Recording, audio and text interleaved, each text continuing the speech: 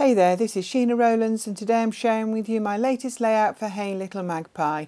And for this layout I'm using the 49 & Market Range Spectrum Gardenia. So I've chosen a background paper and it's the B-side of the Painted Foundations pinwheel. I've taken the uh, manufacturer strip off and I've turned it on its side, well 90 degrees. I've chosen two photos which are not black and white but their main colours are black and white that I want to uh, scrap on this layout and I decided I really like the look of the sentiments rub-ons so I'm actually going to showcase them on this layout. So just using a pair of scissors I'm cutting out the words that I think I fancy and I'm cutting them out with the backing still attached uh, because I'm not too sure where I want to place them. I'm not too sure whether I'm going to use all the words I'm cutting out. I'm just looking at their placement at the moment. So um, I, in case I have to go put them back in the packet, I'm keeping the backing uh, intact. So I really like the way the colours run down this piece of paper.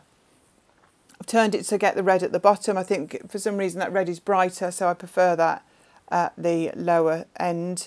Uh, there are some tiny bits of text on the background, but um, by the time I've finished, I don't think you really notice them. Um, and I'm picking out any of the phrases that I think go with these two photographs. I've chosen the word joy at the minute. Uh, that will get changed later on, but um, I'll explain as we go along. But I do like that word amazing. I think that will definitely make the cut. So I want to add some detail to the background, so I pick out some sewing machine cottons that I like the look at and I do a little trial run uh, I'll come to that in just a moment. And I decide to sew on the background. So these are just sewn over the paint splodges. Uh, just a zigzaggy, it's a straight stitch, but I've just gone backwards and forwards uh, just to add some texture. And I've decided I'm going to use two of the black frames from this set to go behind the photographs. So I've, the photos are there just to give me an idea while I reposition the rub-ons. So I, I, showed you that I did a little bit of a practice. I wanted to make sure that if I did some sewing with the machine, the rub-ons would go over the top. And they do, and you'll watch me do that when I get these words. Um, and I've always had a soft spot for the rub-ons from 49 & Market. I think they're absolutely phenomenal. I've used them with a number of their ranges in the last few years, and I've never had some any problems at all but I wasn't sure. This is the first time I've actually put it over machine sewing and it's over quite a lot of sewing and it doesn't make any difference to them. They go down beautifully.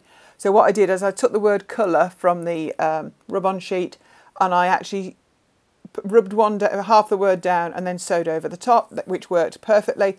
Then I actually sewed uh, an area, then I rubbed down the other half of the word over that just as a bit of trial and error because sometimes you don't want to use the stuff that um, you really like. I knew I wouldn't use colour in that spelling ways, um, so I, I, thought it was the best way just to trial it. And it worked both ways, so I decided I'd do the stitching first, then I'd go over the top of it with the rub-on. So I'm very happy with the way that's looking. Obviously without the backing on they don't look as white, so some of the colour from beneath is coming through. But also the black splodges around them are standing out as well, which is great which is why I picked these photographs to go with all the black and white. Now I'm going to be honest, the sewing did take me the best part of an afternoon, but I do think it's a major part of this layout. Uh, you might be a much quicker scrapper than me, and sewer for that matter, but actually I quite enjoy the process, so I'm happy with how much time it takes. So now that all the rub-on's in position, I don't feel that this layout needs too much more. I'm definitely going to use the frames uh, behind the two photographs, so just so that makes them stand out and pop a little bit more.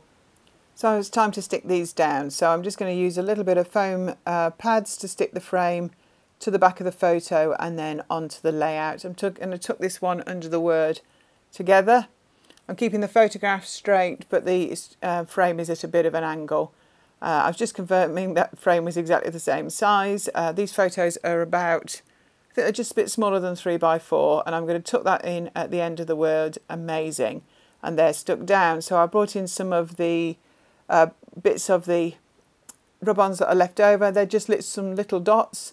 I don't waste any bits and I'm going to add some of these around the edges of the words just onto the plainer cardstock just to um, I, basically I was thinking of doing some black ink splatters so that's where my mind was going and then I decided that actually if the black ink splatters got on the threads and they wouldn't be circular they'd seep into the the cotton of the thread and they could actually look a bit messy and because I'd spent quite a bit of time and energy uh, and enjoyment making the background I didn't want to do that.